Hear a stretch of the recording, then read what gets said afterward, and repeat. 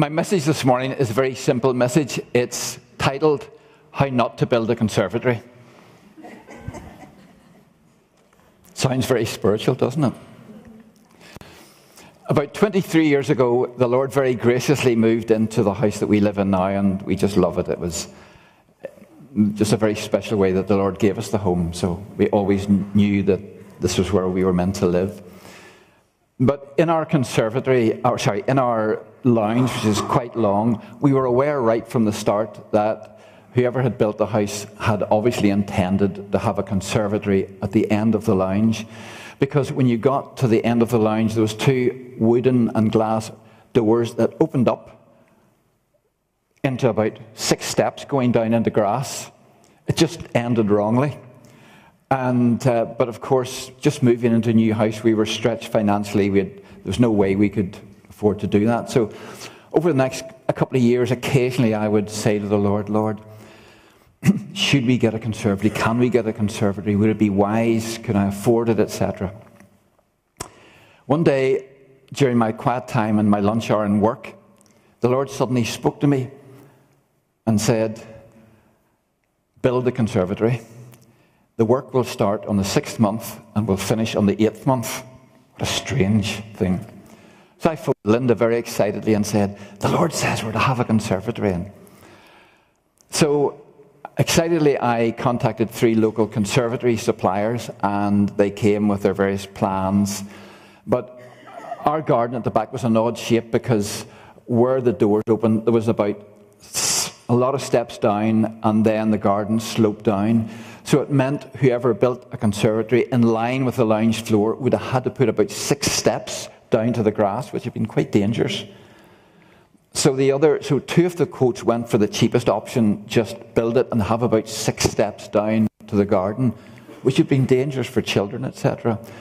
But one company said, you really need to do this right if we build up the foundation, we'll have to build up the garden and build a patio there. So there's only two steps from the conservatory, and then another two steps down from the edge of the patio, and then two more steps down. And that made sense. But of course, they were the, that was the most expensive option. And they said that would be £10,000. Now, that's a lot of money now, but some 23 years ago, if we can remember, that was a lot of money.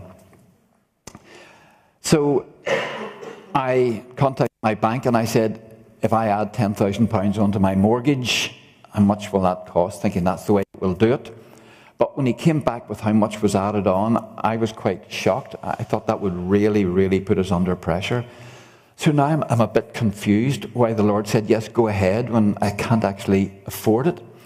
So I, I was a, a director in the company I was in, and we'd always told our accountant, you know, at the end of the year, keep enough money from any bonuses or salary, so as when the income tax comes in, we're not, you have it set aside for us. So anyway, about two or three days after this going to the bank, our accountant walks into my office and says, I have a pleasant surprise for you. The tax laws have changed, and I've been holding some money back for you to, for your taxes, and I don't need it now. And I said, How much? What do you think he said? £10,000. Well, wow. So um, I phoned up this company and I said, Yes, we like your plans and we accept your quote. And they said, Look, we're very busy at the minute. We can't start the work until June. And we can't finish it until August.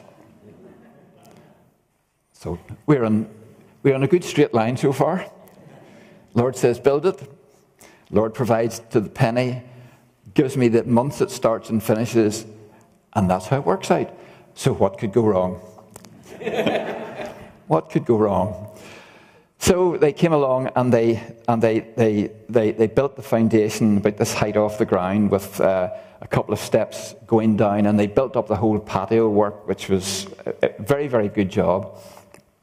And then in August they came back and they built this beautiful conservatory. And we were really, really pleased with it. It looked very, very good. But because it was August, um, Northern Ireland thought it was summertime and it didn't rain for a couple of days. Um, but a couple of days after it was up, it started to rain, and we came down in the morning, and uh, we didn't have a conservatory, we had a swimming pool. Um, so I got on to the conservatory company and I said, Look, um, we have a flood. So I said, Oh, uh, we mustn't have sealed some of the joints correctly. So they came down and by golly, they sealed the joints. Even to this day, the amount of sealant they put on it is, is like, wow. so I thought, well, okay, fair enough, fair enough. A couple of days later, it rained, and we came down in the morning and we had a swimming pool. So I got onto them again and said, Oh, it must be the brickwork was before the, the plastic starts, there's brickwork about this height and then brickwork away down to the bottom of the garden. They said, the bricks must have soaked and the rain has come through. So we'll come down and we'll spray this, this uh, clear sealant all over the bricks. So they did. They came down and they sprayed it and sprayed it and sprayed it. Thought, right, well, that's certainly rainproof. A couple of days later, it rained and we had a swimming pool. So I got on to them again and said, We still have a swimming pool. And he said, okay, look, I, I, am pretty certain I, I know how to fix this. So he said, we need a, a day at it. We'll come down on Saturday and fix it. So I said, look, we'll be away all day Saturday. I'll leave the key for you. So we came back at six o'clock and I was taking stuff into the kitchen. Linda went into the conservatory and she sort of came walking with eyes open into the kitchen and said, Ken, come and see what they've done. So I went in and they had an iron bar bolted across it into two sides and a big bolt in the middle painted white. And I looked at it as if, like, am I seeing this? And I touched it. And I looked at it. I just literally, I, I, not often I'm speechless, but I was actually speechless. and this passionate anger rose in me. I'm not, trust me, I am not an angry person. I very rarely would ever get angry. I'm just, I'm a cool dude. But, but I got angry. And I went to the phone. Of course, it was 10 past 6 on a Saturday night. Nobody there. You get a, a, a girl answering phone. But that didn't stop me because I had to vent. I said, You come down here and you take that ugly, ugly iron pole out of my conservatory. You come down, etc., etc., etc. So I thought, calm down, Ken, have a cup of tea. You've left your complaint. So I went and had a cup of tea, but I found this magnet pulling me back into the conservatory to have another look. Next thing down goes the cup of tea, back to the phone again. The same, how dare you? Oh. So Linda says, Ken, calm down. You've protested twice. They've got, they'll get the idea. So I tried to watch the television. I tried everything, but nine o'clock at night, I went in and th- thought, maybe I'm overreacting. No, I'm not. Back to the phone again, I say. So anyway, Sunday came, and of course, you know, you quieten down a bit. Monday morning, I'm brushing my teeth. Linda opens the bathroom door and says, uh, "It's the conservatory company for you." so of course, by now, I'm sort of I'm feeling mildly foolish, right, but mildly foolish, thinking maybe I could have handled that better. So I said, uh, "Good morning." He said, "Good morning." And uh, he said, um, So you don't like the iron bar? Um, I think it was a word of knowledge that. that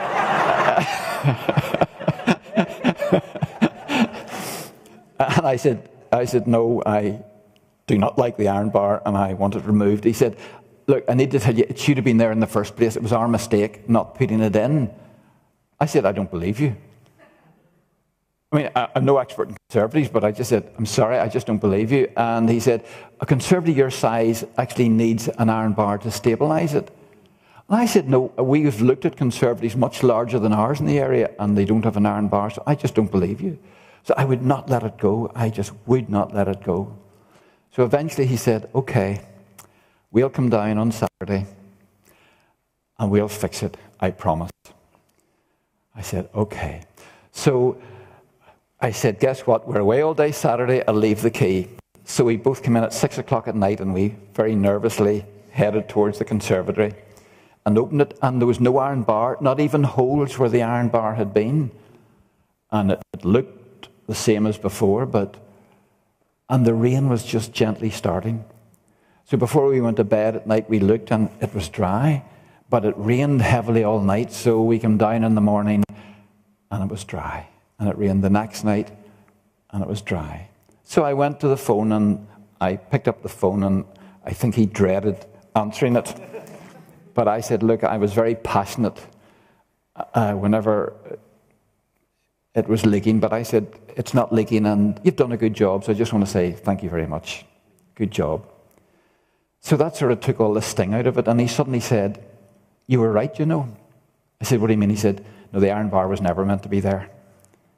I said, Well, it's very honest of you to tell me. He says, No. He said, We didn't build it accurately enough, and the walls were out a little bit like that. And so the door wasn't closing properly, and so the rain was getting in. So we just artificially pulled it in to get the door frame to close.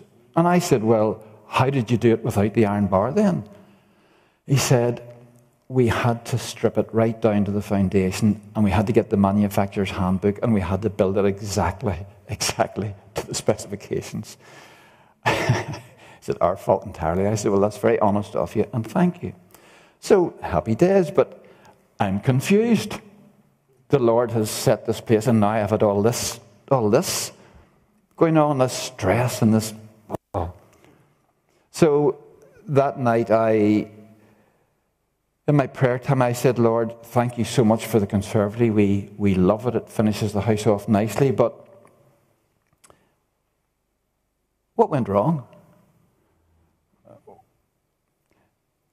I wasn't expecting the Lord to speak to me. I was sort of just as you do. But He did speak to me.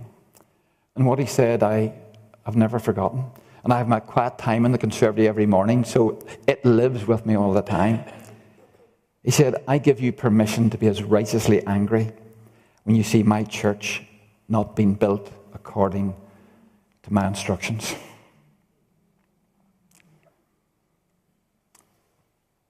Today, we know that a great many churches in Europe and North America have abandoned the clear wording in the manufacturer's handbook, the Bible, and have absorbed and agreed with much of the culture's revised thinking on morality. And guess what? These are the churches that are leaking the most. Dave Shiflett, an established reporter and author, he's written for the Washington Post, the Wall Street Journal, the Investors Business Daily, and among other major media. He's the author of Christianity on Trial and as a member of the White House Writers Group. And he wrote this Americans are, vac- are vacating progressive pews and flocking to churches that offer more traditional versions of Christianity. Most people go to church to get something they cannot get elsewhere.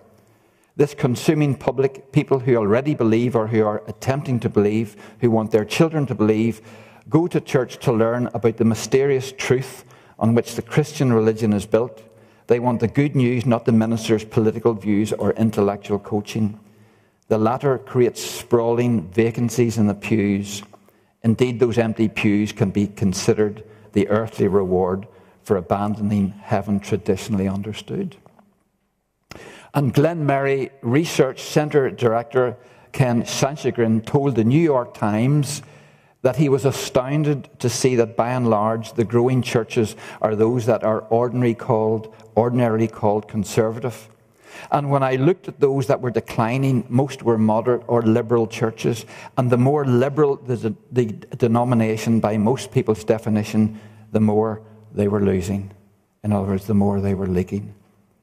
In other words, the more liberal the doctrine, the more the church leaks. But here's where I'm going with this. Uh, Jesus said, I will build my church, and the gates of Hades will not overcome it. You know the verse, Matthew 16, 18. He did not say he would build our culturally and morally adjusted version of his church.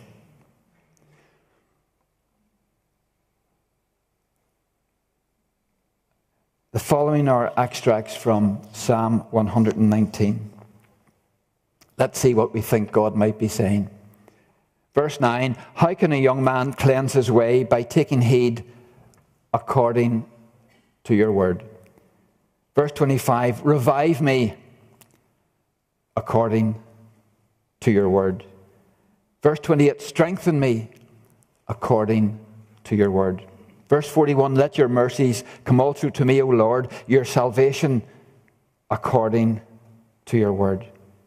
Verse 58 Be merciful to me according to your word. Verse 65 You have dealt well with your servant, O Lord, according to your word. Verse 76 Let I pray your merciful kindness be for my comfort, according to your word. Verse 107 again it says, Revive me, O Lord, according to your word.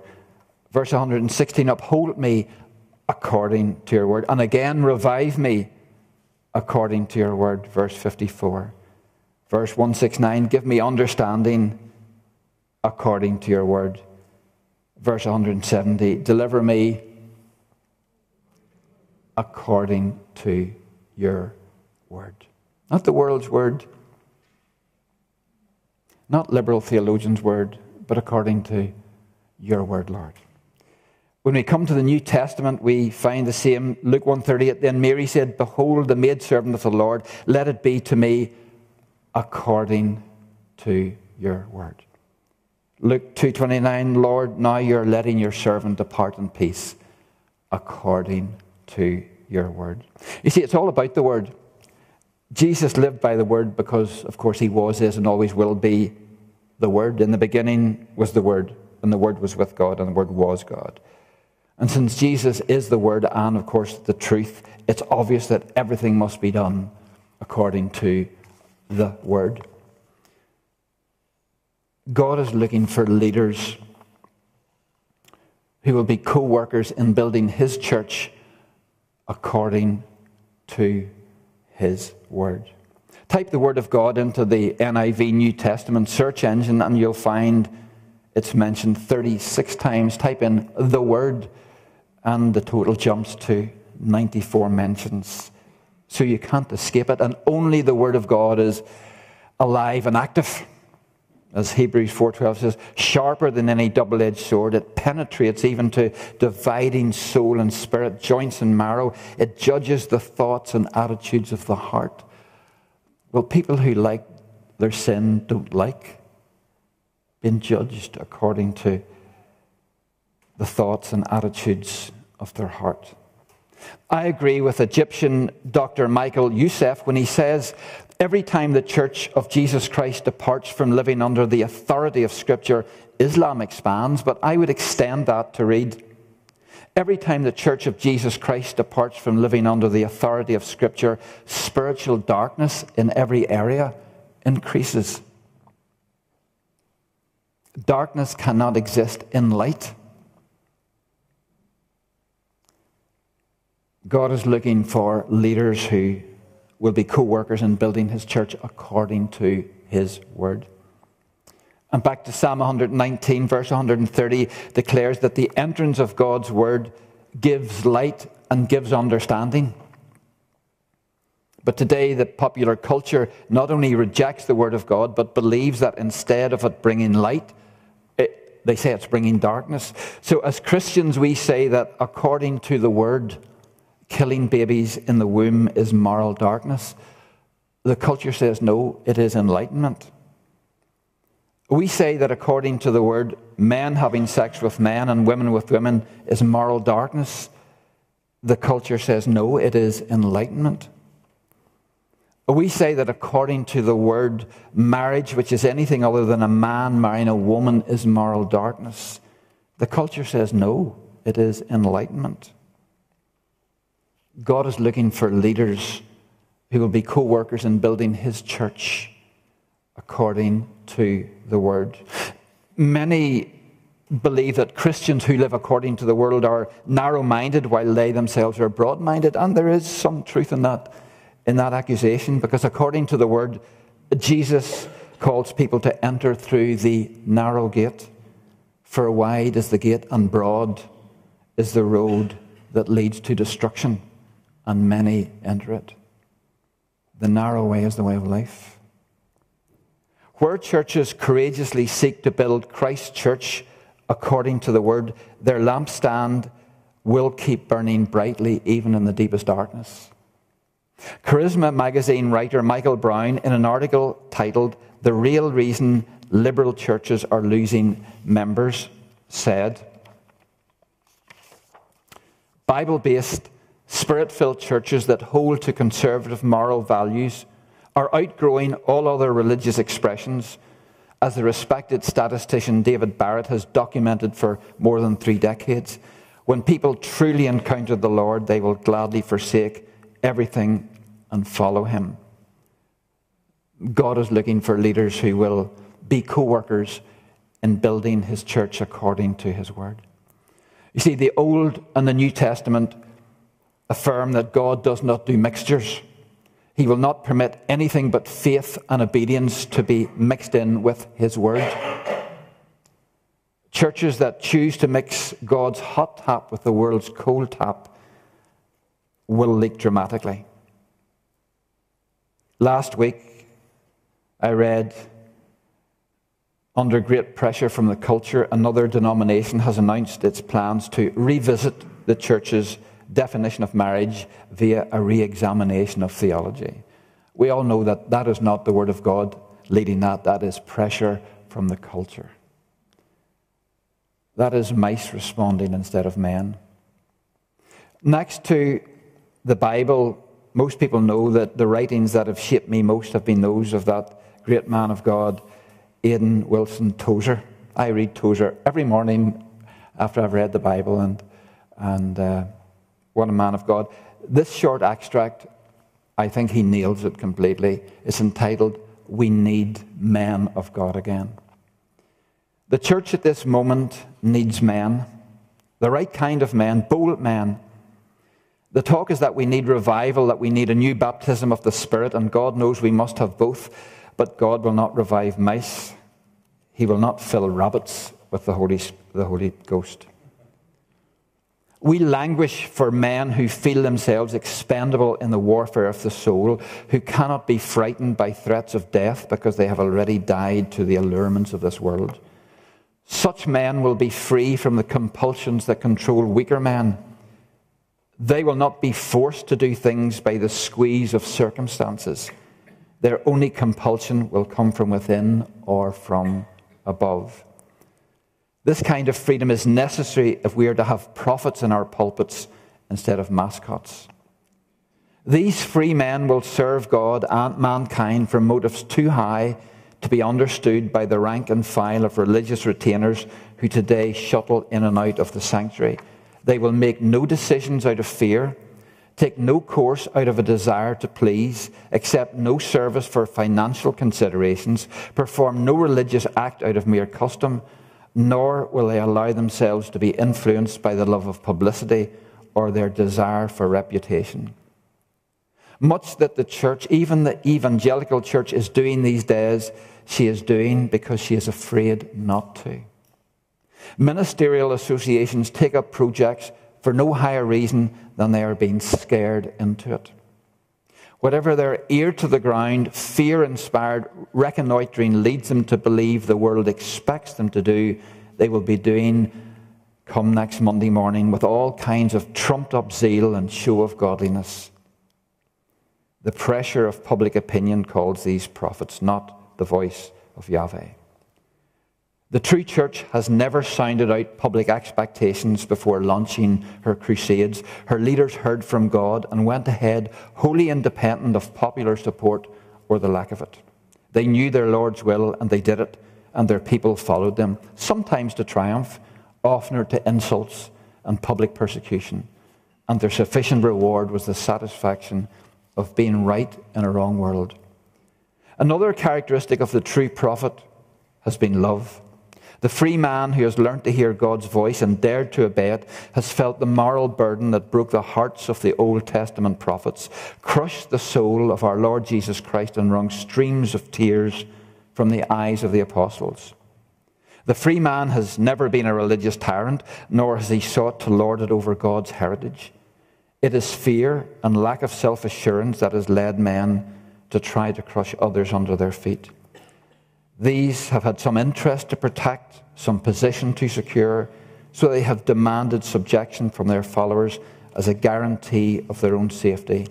But the free man, never. He has nothing to, protect, no ambition to pursue, no enemy to fear. For that reason, he is completely careless of his standing among men. If they follow him, well and good. If not, he loses nothing that he holds dear. But whether he is accepted or rejected, he will go on loving his people with sincere devotion, and only death can silence his tender intercession for them. Yes, if evangelical Christianity is to stay alive, she must have men again. The right kind of men. She must repudiate the weaklings who dare not speak out. She must seek in prayer and much humility the coming again of men of the stuff prophets and martyrs are made of. God will hear the cries of his people as he heard the cries of Israel in Egypt, and he will send deliverance by sending deliverers. It is his way among men. And when the deliverers come, reformers, revivalists, prophets, they will be men of God and men of courage. They will have God on their side because they will be careful to stay on God's side. They will be co workers with Christ and instruments in the hand of the Holy Ghost. Such men will be baptized with the Spirit indeed, and through their labors, He will baptize others and send the long delayed revival. God is looking for leaders who will be co workers in building his church according to his word. Amen.